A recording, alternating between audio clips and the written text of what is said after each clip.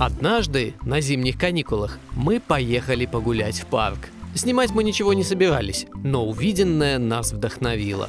Мы идем по бездручевой долине. Тут красиво, полно снега, он везде. Мне это, честно говоря, очень нравится, потому что я снег очень люблю. И его можно вот так вот собирать и кидаться. Снега было действительно огромное количество. На север Чехии мы ехали из теплой Южной Моравии, поэтому кое-кто не был готов к такой погоде. По-моему, это отличная идея была. Взять кроссовки в такой снег. Не сказал бы я, что мне холодно, но честно вам скажу, очень скользко. Ибо подошва в крос- в кроссовках не предназначена для похода по снегу. Но кому-то мешает, собственно. Не упасть бы только. Народный парк Безручева долина или Безручево удоли, если на чешском, находится в Крушных горах у города Хмутов. Долина занимает 6,5 тысяч гектаров и растянута на 13 километров в длину. Названа она в честь чешского поэта Владимира Вашка, который писал под псевдонимом Петр Безруч. Когда-то здесь добывали серебро и другие металлы, а с 19 века по долине прогуливались чешские дворяне. Мы же выбрали совсем не дворянский путь.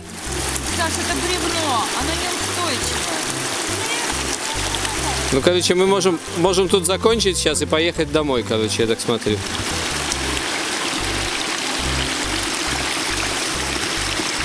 Видишь, я добрался. Ну, давай, специалист, расскажи, что ты нам хочешь сказать. Что? Ну я выбрал самую примитивную дорогу, и все.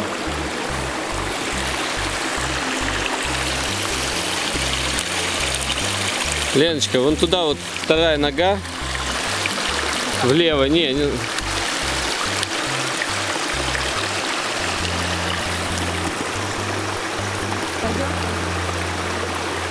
А как же комментарий?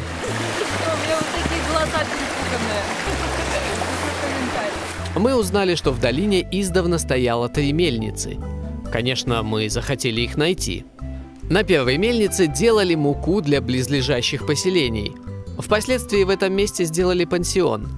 Сейчас мы нашли эту мельницу довольно легко и очень вкусно в ней пообедали. Я очень хорошо поела. До второй мельницы пришлось пройти через много мостиков. Но нашли мы ее быстро. Раньше здесь была лесопилка. В нижних зданиях жили рабочие, которые занимались строительством плотины неподалеку. Идти до третьей мельницы нам не очень хотелось. Но задуманное нужно притворять в жизнь. Поэтому, давая по пути концерты, мы героически пустились в путь.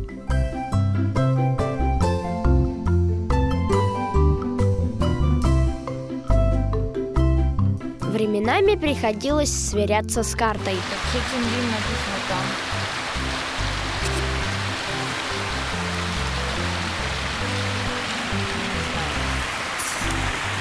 Он вообще уже тут, потому что мы вот возле вот этого вот перехода.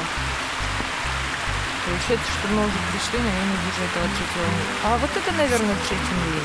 Решив, что здание в кустах и есть третья мельница, мы со спокойной душой пошли назад. А она это была или нет, было не так и важно. Мы идем обратно.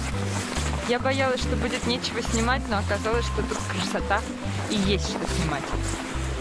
Мы дошли предположительно до третьей мельницы. Э, Удостовериться в этом нам не удалось, потому что на самом деле устали. Но э, видели какое-то на горизонте здание, решили, что вот оно, это и есть третье. А сейчас идем назад. И надеюсь, что очень быстро придем, потому что хочется в машину, ноги мокрые, холодные. Но много очень впечатлений. Но я думаю, что мы вернемся достаточно поздно, потому что меня сильно болят ноги. 拜拜。